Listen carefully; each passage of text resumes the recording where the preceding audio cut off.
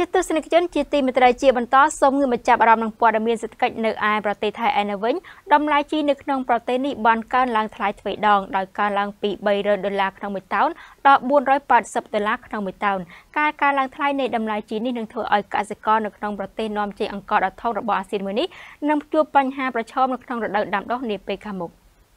ការឡើងថ្លៃតម្លៃជីខ្លាំងកំពុងកើតមានសម្រាប់ដំណាំស្រូវក្នុងប្រទេសថៃដោយកសិករក្នុងប្រទេសនាំចេញអង្ករដ៏ធំមួយនេះអាចប្រឈមនឹងបញ្ហានៅរដូវដាំដុះនាពេលខាងមុខនេះបញ្យងតាមសេចក្តីរាយការណ៍របស់កាសែតបាងកប៉ុស្តិ៍កាសែតបាងកប៉ុស្តិ៍បានរាយការណ៍ដោយដកស្រង់សម្ដីលោកប្រមោទឆារនស៊ីប្រធានសមាគមកសិកម្មថៃថាតម្លៃជីក្នុងប្រទេសថៃកំពុងឆ្ពោះទៅរកការកើនឡើងទ្វេដងធៀបនឹងឆ្នាំ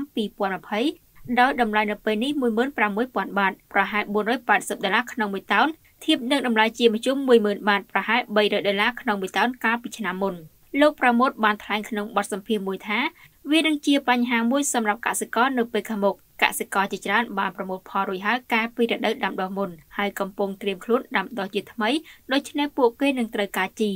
តម្លៃជីក្នុងមួយតោននេះពេលនេះថ្លៃជាងតម្លៃស្រូវក្នុងមួយតោនទៅទៀត។ ស្រូវគឺជាដំណាំអាហារដ៏សំខាន់សម្រាប់ប្រទេសជាច្រើនក្នុងតំបន់អាស៊ីហើយការកើនឡើងតម្លៃជីដោយសារតែបញ្ហាថាមពលក្នុងពិភពលោកនឹងធ្វើឲ្យប៉ះពាល់ដល់កសិករជាច្រើននៅក្នុងតំបន់នេះក្នុងប្រទេសមួយចំនួនបញ្ហានេះឈានទៅរកការបង្ខំឲ្យរដ្ឋាភិបាលចាត់វិធានការបង្កើនការឧបត្ថម្ភធនដល់កសិករទៀតផងដើម្បីធានាដល់ការគ្រប់គ្រងស្បៀងយោងតាមកាសែតបាងកកប៉ុស្តិ៍ប្រទេសថៃទិញស្ទើរតែទាំងអស់នៃជីអុយរ៉េផូស្វាត និងប៉ូតាស្យូមពីបរទេសរួមទាំងប្រទេសចិនផងដែរ កត្តានេះបានធ្វើឲ្យប្រទេសនាំចេញអង្ករធំទី3ក្នុងពិភពលោកមួយនេះកាន់តែងាយរងគ្រោះទៅនឹងការប្រែប្រួលគោលនយោបាយនាំចេញរបស់ចិនហើយបញ្ហាទាំងនេះកាន់តែធ្ងន់ធ្ងរថែមទៀតដោយសារតែការកើនឡើងនៃចំណាយលើ logistics លោកប្រមោទថ្លែងថាបើទោះបីជាទឹកចំនួនមិនបានប៉ះពាល់ធ្ងន់ធ្ងរលើវិស័យរបស់ថៃហើយក្រុមហ៊ុននាំចេញនៅតែមានទិសដៅនាំចេញ6លានតោននៅឆ្នាំនេះក៏ដោយក៏ការកើនឡើងតម្លៃជីនឹងក្លាយជាបញ្ហាដ៏ធំមួយសម្រាប់កសិករថៃដែលពួកគេជួបប្រទះបញ្ហារួចទៅហើយដោយសារតែតម្លៃស្រូវទាប